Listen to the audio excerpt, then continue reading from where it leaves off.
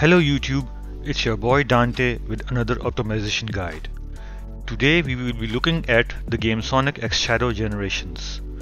First I will show you some steps outside the game that will reduce stuttering, FPS drops and ensure that you get stable frame times for smoother gameplay. After that I will give you detailed explanation of in-game graphics settings, side-by-side -side comparison of each setting and the subsettings, their performance cost and also recommend best setting for you as well. So let's get started. To reduce stuttering and FPS drops, just follow these easy steps I show you. First go to your games section inside Steam, right click it and go to its properties. Then installed files and hit browse. This will take you where your game is installed.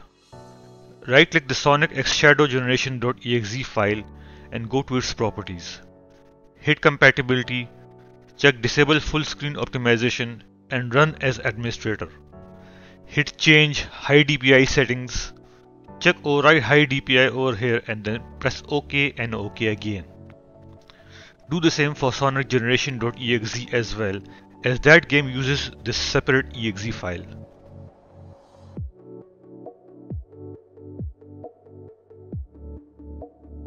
Also come back to the game properties in Steam and click this toggle button to disable Steam overlay. Along with that, write dash dx11 under the selected launch option and then exit the properties window. Also, if you are a VSync user, you should disable VSync in-game and enable it from your GPU control panel as it always works far better than the in-game one. After these steps, you will have no FPS drops and no stuttering in-game as long as your hardware can take it and you will also have very stable frame times resulting in a very smooth gameplay experience. Now let us get to the graphics setting optimization part of this guide. For this I will be using an RTX 3060 Ti with the resolution set at 4K and 120 FPS. When we come to the graphics setting, the first thing is just brightness, which all of you know what it does, so we will not be discussing that. Next is graphics, which again is just a preset that changes all the subsettings. Shadows control the resolution of shadows in game. Here is the comparison of low and high shadows. As you can see high has sharper shadows than low but the difference here is very minimal. Going from low to high the FPS went down from 81 to 76 FPS. I recommend setting shadows to low because the difference is very minimal and something that you will never notice especially in a fast paced game like this.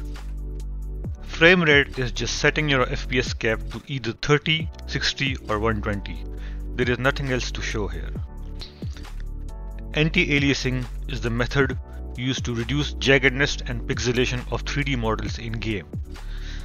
None setting will disable anti-aliasing making it a pixelated mess. FXAA has less pixelation and TAA has almost zero jaggedness. Performance wise going from none to FXAA and TAA the game gave me 85, 82 and 76 FPS respectively. Here I would recommend FXAA because TAA costs more FPS and makes the image a little blurry. Next is ambient occlusion. Normally this method applies shadows to objects in game depending on where the light is coming from. But in this game, ambient occlusion is very minor. Only here you can see the small amount of shadows missing below these barrels, as if they are floating. Going from none to enable cost me a 7 FPS loss. Here I would recommend none setting because again you will never notice the difference during normal play as most of the heavy ambient occlusion related work has been done using dark textures by the developers as you can see here on these huge missiles. Local reflections is actually screen space reflections. This method applies reflections to reflective surfaces in the game. As you can see here, the none setting has no reflection at all. Going from none to enable, I went from 83 fps to 80 fps.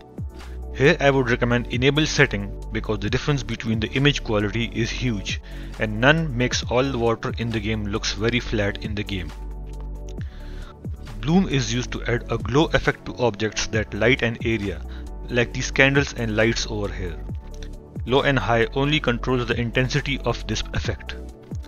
Performance wise, high cost me 3 FPS more. Here I would recommend low setting as again the difference is way too minor to be noticed unless compared side by side like this. Volumetric lighting is an effect that applies fog and sun rays in game. For me it was very hard to find spots in this game which actually had this effect. Even after finding some rare spots, there was literally no difference in visuals, but the performance cost was 6 FPS. So here I would recommend low settings. After this, the rest of the settings are pretty basic, like everyone knows what resolution does. Then there is resolution scale, which applies a percentage of resolution you have selected above. Screen mode just lets you play the game in full screen, borderless or windowed. Then there is monitor which only applies to multi-monitor setups. And in the end we have VSync which is used to reduce screen tearing. And here is the difference between high and optimized settings. To be honest, the optimized settings are just local reflections enabled with FXAA and everything else set to the lowest settings. As you can see, there is almost no visual loss in the optimized part, but the performance boost is big, going from 83 FPS to 112 FPS. And this brings us to the end of the guide. If this video was helpful to you, kindly like and support the channel by subscribing. Good luck and happy gaming.